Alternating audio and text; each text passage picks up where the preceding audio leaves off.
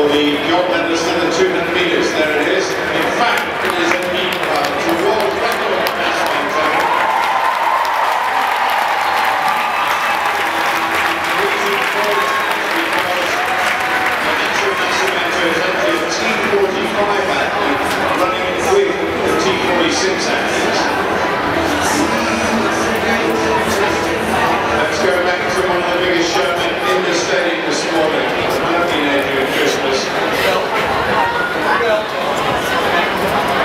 Wait, goodbye.